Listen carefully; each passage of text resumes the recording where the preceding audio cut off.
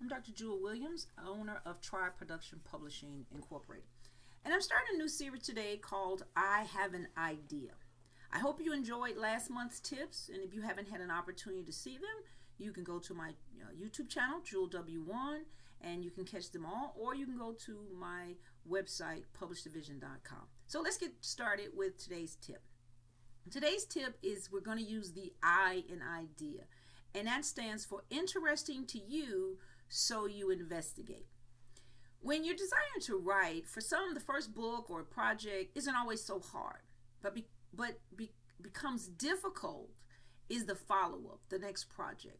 For others, your desire to write, but you aren't sure what to write or how to go about figuring it out. So I think these idea tips will be useful to help you get started.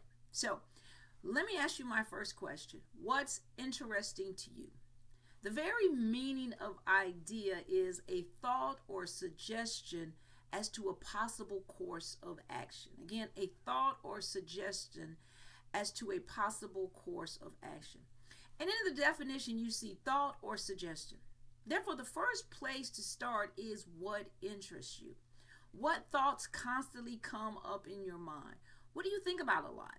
What do you tend to spend your thought life on, on things that are interesting to you? Um, let those thoughts move from what I call the thought, thought stage to the suggestion stage. And so I just give you a challenge for the next 30 days. Why don't you write down your thoughts? Write them all down. And so, for example, let's say you're interested in healthy cooking. So then you would write your question based on your thought would be, what are the best foods for me to eat if, for example, if I wanted to lose weight? And so then what you do is you turn that question into a suggestion. And so then my suggestion based on my question would be I should try some recipes for healthy desserts to see what I like. So you start with what interests you. And, and, as you can notice just in that example that I use, what I'm trying to do is I'm actually walking myself through a process. Because remember, the definition is we're trying to get to a course of action. The second thing you want to do is how will I investigate these interests? So once you have the two steps, your thought stage and the suggestion stage, you're ready to create a possible course of action.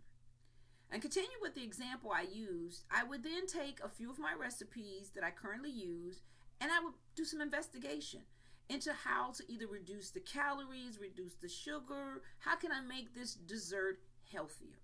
And so once I've done this and I like the results, I have a potential for a new project. Maybe I want to write a cookbook. Maybe I want to write an ebook about this. What do I want to do? So this could become my next writing project.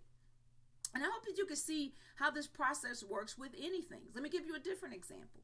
Maybe you have an interest in scripture memorization. Maybe that's your thoughts. That's what you're thinking about a lot of. And so you would then write your question. What steps help can help me remember scriptures? And so in this suggestion stage, you would then say, I'm going to work on memorizing Psalm 32 and journaling how I did that. Once you've done that, you have the makings of a new project. Maybe you write a project around Psalm 32. Maybe you uh, use that as your example on how to begin scripture memorization. But however you work with that would be based on what you uncovered, what you learned in your investigation. So you can share what you've learned in that investigation. You also have already done some research because you've you've had to do this, you know, discovering for yourself. So this is now something you can turn into a project. And then the, the last step is journal the process. Another idea, another meaning of idea is the aim or purpose. One of the tools you want to use to make sure you capture your aim or purpose is to journal the steps. Also, write down what obstacles you face and how you overcame them. These are great tools to use to help make your writing project interesting to your reader.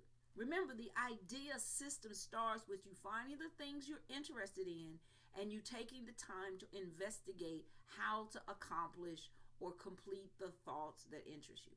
And I so I'm excited about this. So this was the I. Again, I stands for let me get back to it. I stands for interesting to you so you investigate. So the first thing is what interests you. Write your thoughts down, make a, a, a question, answer your question with your suggestions, and then investigate.